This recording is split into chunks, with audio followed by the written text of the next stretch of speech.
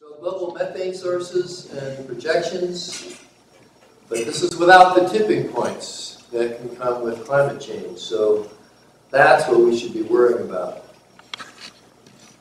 This is showing how the Earth can go in and out of ice ages, but if you push the Earth too far past the normal place where we would go back into an ice age, which is what we're doing, then we could go into a, a very different state that we have not seen for tens of millions of years rather than just a few hundred thousand years. So while atmospheric CO2 is rising at an accelerating rate of about 0.7% per year today, it's 47% above pre-industrial levels right now. But methane is 300% higher than pre-industrial. And what's remarkable about that is that methane will oxidize in the presence of oxygen with a half-life of only 12 years. Whereas CO2 is very tough and it'll last for tens of thousands of years.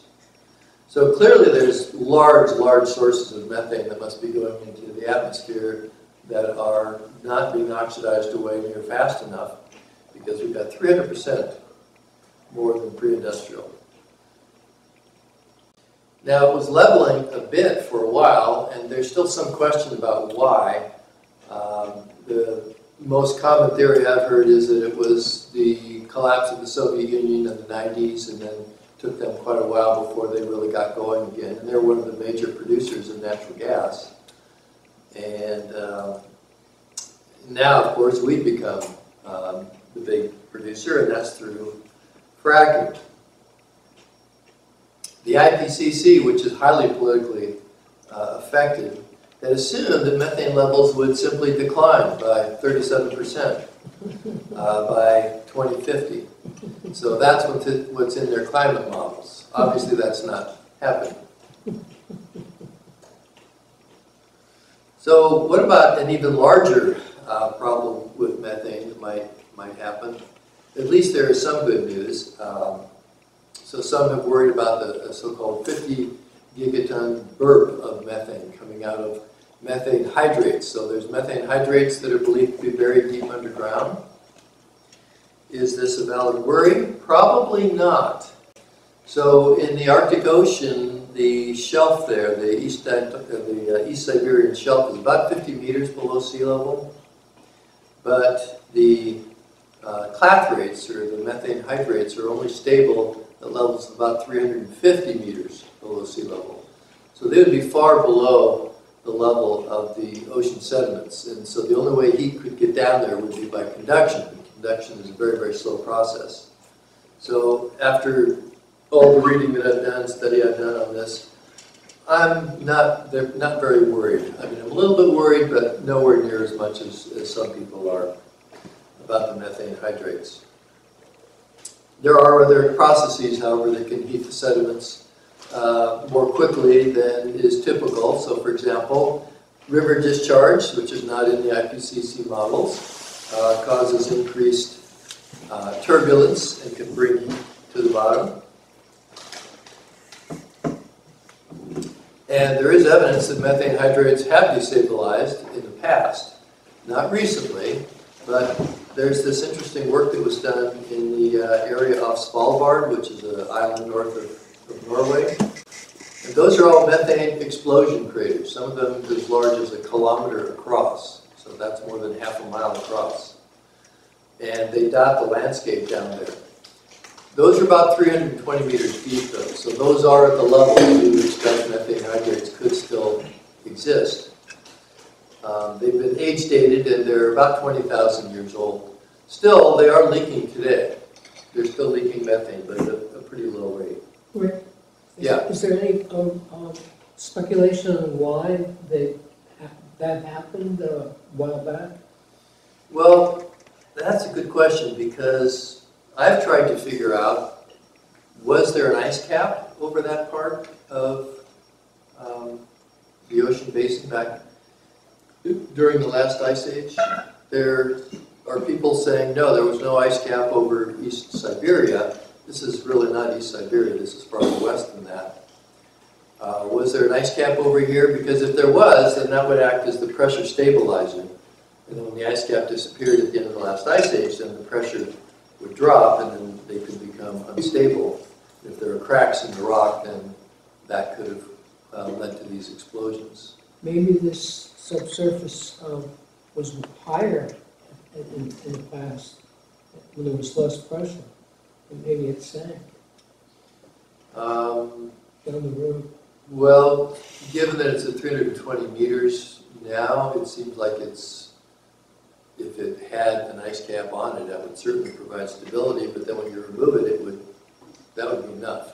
I think if you just remove the ice cap, you don't need to have it go up or down. It probably would have sprung back up with ice cap. uh, Uh, re- Rebound, geodetic rebound is, is slow though, and small, very small, not, not many, many years.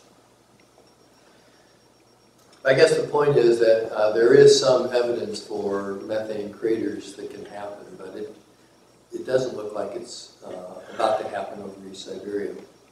But here's something that, that maybe is more worrying. It's called the compost bomb instability. It was an instability discovered written up in 19, or uh, rather 2010 and 2011. It has to do with the warming rate, the rate at which the air temperature is warming and conducting down into where the, the peat is. So if that warming rate is higher than 0.088 degrees centigrade per year, then you trigger the instability. So there's the soil temperature response to the atmospheric temperature forcing, which is shown underneath. And if it goes past uh, this critical 0.088, or you could express it in terms of per century, which is what they have up there, so 8 degrees per century. It's a warming rate, though. You don't need a full century to do this. You just need that rate to exist. And you need that rate to exist for about 15 years. And then you could set off this instability. So when I read across these papers, I immediately thought, well, okay, we know the rate at which temperatures are warming. Is that significant up here? Turns out the Arctic is warming two or three times faster than the rest of the planet. And it does look like it's a worry. So this is from Lawrence et al. in 2008, and when you lose the Arctic ice, the Arctic Ocean ice, then it sends a pulse of heat down past the Arctic uh, coastline down into the permafrost area. And what you see on the left there is the degrees centigrade per decade. And so that's uh, 0.1 degrees centigrade per year, and that's slightly over um, this trigger point. So this does look like it's a worry, actually.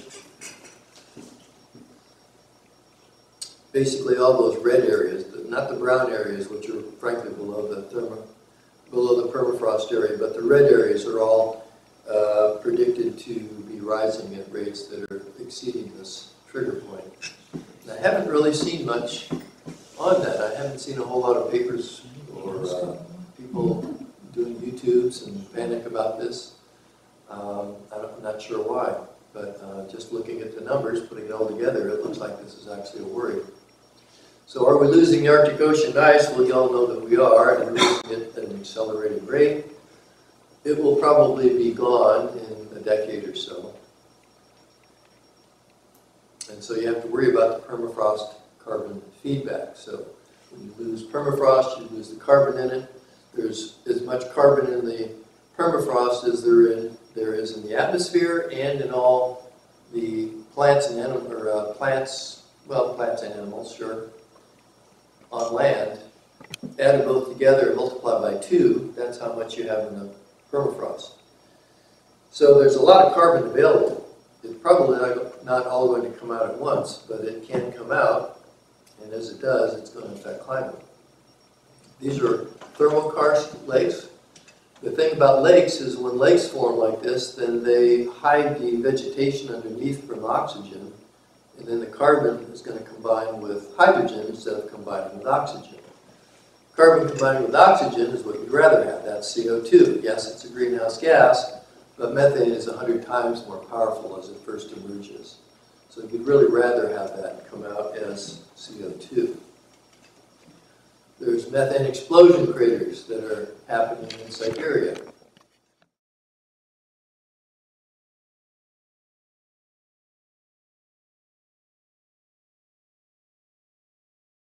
And the new CMIP six models, which are going to be incorporated into the new IPCC assessment report number six, which is due to come out in a couple of years, is confirming the work that I've been talking about for years now in my public talks, from Friedrich et al. and, and others, and that is that the equilibrium climate sensitivity to a doubling of CO2 is not the three degrees that the older studies were showing, but is more like five degrees.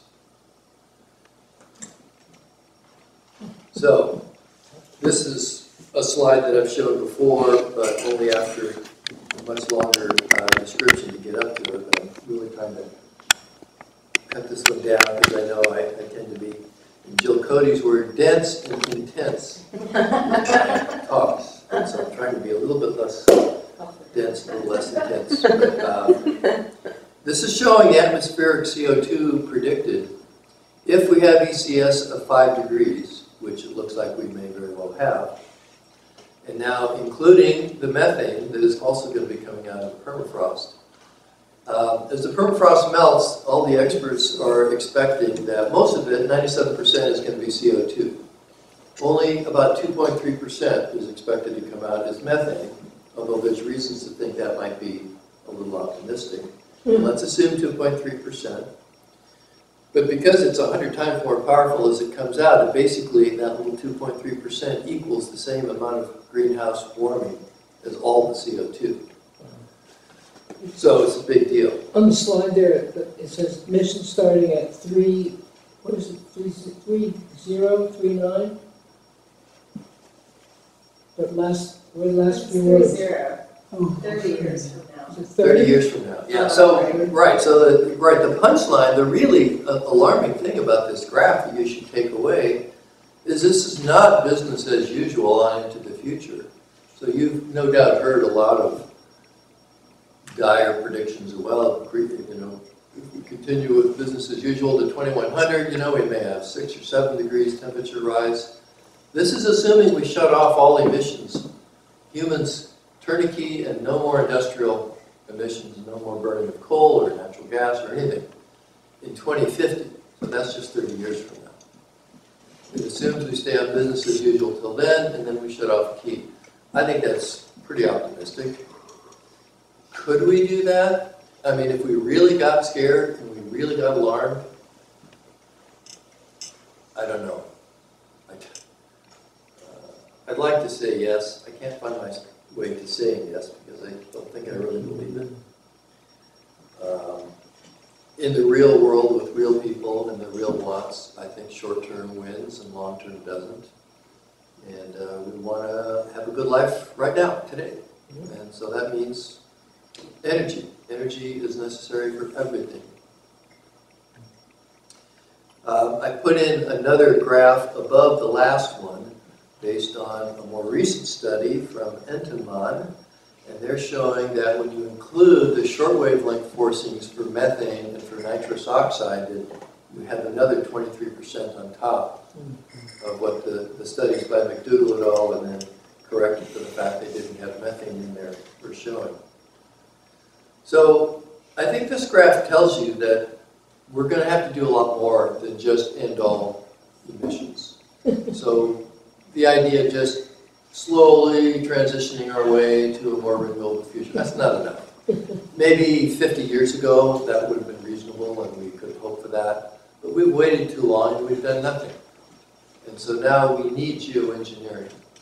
And geoengineering, I think, is going to be absolutely necessary. And then the question is, how do we do it safely?